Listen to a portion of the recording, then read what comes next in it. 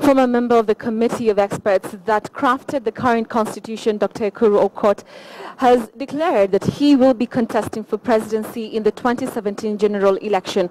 Aukot, who is also a High Court advocate, will run on a Third Way Alliance movement and he begins his campaigns officially tomorrow in Kajiado East constituency. Duncan Khaemba spoke to him. This is the man who believes his time has come and has thrown his hat in the ring. For the avoidance of doubt, I will definitely be offering myself to run for President of Kenya 2017 under the Third Way Alliance. Dr. Ekuru Aukot says his presidency will focus on four pillars, protecting the constitution, depolarizing Kenya from tribalism, addressing runaway corruption, and taking youth and women into government. And I want to promise the people of Kenya that it will be a 50-50 for women and men in this country.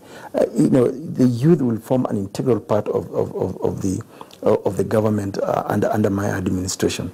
And, and, and I think I need to stop this, uh, you know, treating youth and women as just political flower girls.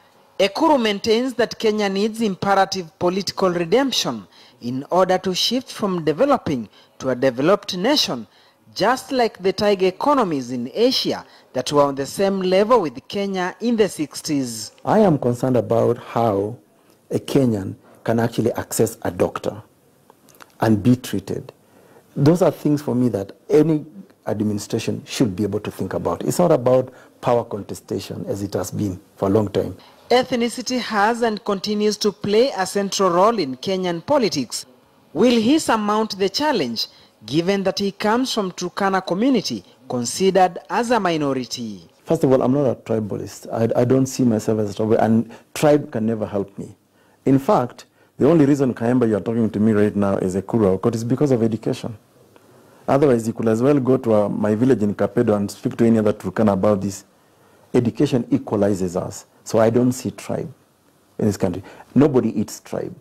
A few Kenyans we spoke to in the capital, Nairobi, had divergent opinions on his candidacy. Dr. Ekuru comes from a minority, that's the fact. And there's also this fact that Kenyans vote along tribal line. And then he, ha- he, he doesn't command that wealth that other his competitors has. If it were not for that, Dr. Ekuru can make the best president ever Kenya could get. He has a lot to do. He needs to go and he needs to introduce himself to other Kenyans. And I can say we wish him all the best. There's nobody who has the monopoly of ideas in this country or even who should run for, the, uh, for any seat in this country. Here, ethnic or minority doesn't uh, uh, count.